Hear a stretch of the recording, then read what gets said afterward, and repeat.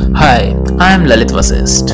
Astronomers have discovered a supermassive black hole that may be the most massive black hole ever known. This black hole is located inside the galaxy NGC 1277, which is about 250 million light years away from Earth in the constellation Perseus. The mass of this black hole is unbelievably high. It is equivalent to the mass of 17 billion suns. Now get ready to know the size of this supermassive black hole. This monstrous black hole is about 11 times as wide as the orbit of Neptune around our sun.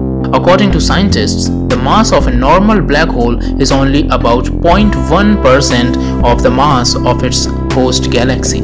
But in this case, it is not so. This supermassive black hole makes up about 14% of its host galaxy's mass, which is a unique case in itself. The mass of this giant black hole is so far above normal that the scientists took a year to double check and submit their research paper for publication, according to the study's lead author Remco van den Bosch. The first time I calculated it, I thought I must have done something wrong.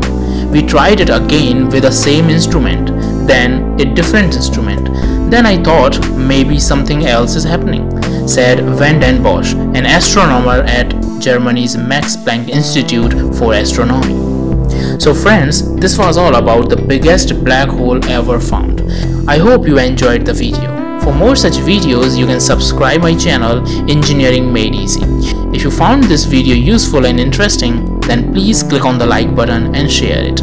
Thank you for watching this video. See you soon in the next video. Bye bye.